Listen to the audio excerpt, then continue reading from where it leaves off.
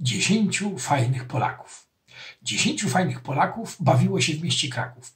Jeden poszedł na wybory i już był śmiertelnie chory. Dziewięciu fajnych Polaków bawiło się w mieście Kraków. Jeden poszedł tam, gdzie mało kto przyszedł i już z tego nie wyszedł. Ośmiu fajnych Polaków bawiło się w mieście Kraków. Ten ósmy pracował w komisji i pozarażał wszystkich. Siedmiu fajnych Polaków bawiło się w mieście Kraków. Ten siódmy to był świrus i zabił go wiadomy wirus. Sześciu fajnych Polaków bawiło się w mieście Kraków. Ten szósty wiedział, że źle skończy, także w lokalu wyborczym. Pięciu fajnych Polaków bawiło się w mieście Kraków. Ten piąty, kiedy głosował, y, zaczęła boleć go głowa. Czterech fajnych Polaków bawiło się w mieście Kraków.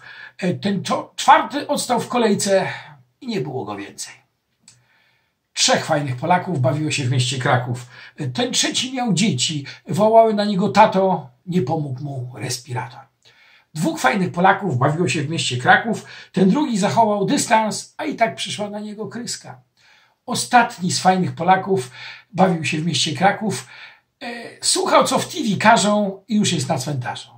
Nie ma już fajnych Polaków, ani w Gdańsku, ani w mieście Kraków. Uwaga, teraz będzie puenta. Ale za to mamy prezydenta.